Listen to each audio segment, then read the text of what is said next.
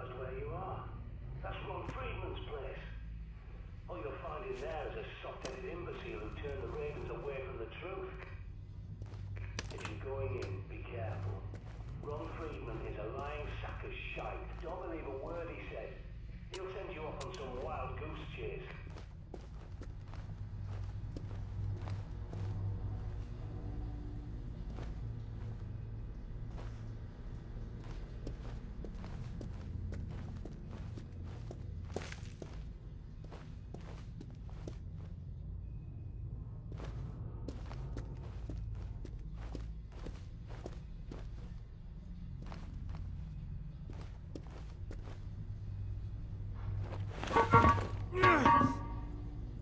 Ugh!